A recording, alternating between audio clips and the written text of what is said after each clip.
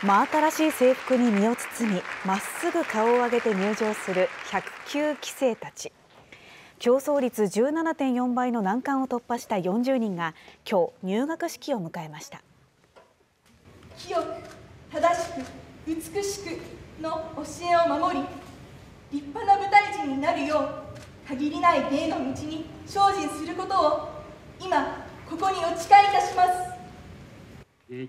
新入生と在校生の全員が PCR 検査で陰性を確認し校歌は歌わずに事前に録音したものを流すなど感染対策をとって行われました。新型コロナウイルスの中愛され続ける宝塚歌劇団の舞台に2年後立たせていただけると思うと身が引き締まる思いでございます。